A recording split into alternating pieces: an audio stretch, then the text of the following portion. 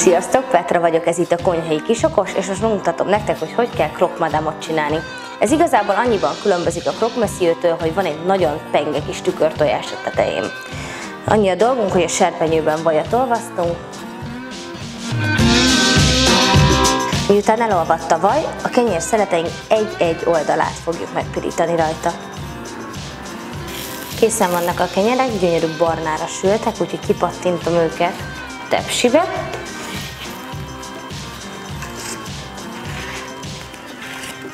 Jöhet rá egy kis mustár. Mustár rajta van, pattanhatnak rá a sonkák.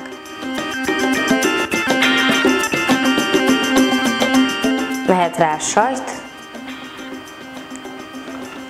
Lefedjük.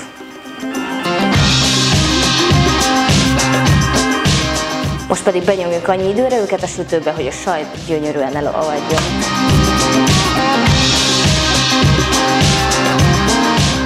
Most rányomom a tetejére a besamelmártást, és ezzel együtt fogom visszarakni a sütőbe még körülbelül 5-10 percre, hogy gyönyörűen megbarnuljon rajta. Amíg sül a besamel lesz szendvics, addig elkészítem a tükörtojásokat.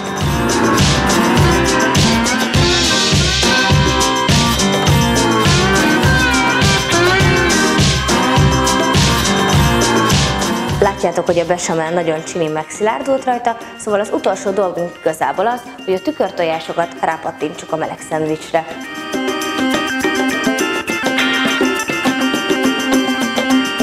Most már csak sózunk, borsozom, aztán voilà, meg bon appetit!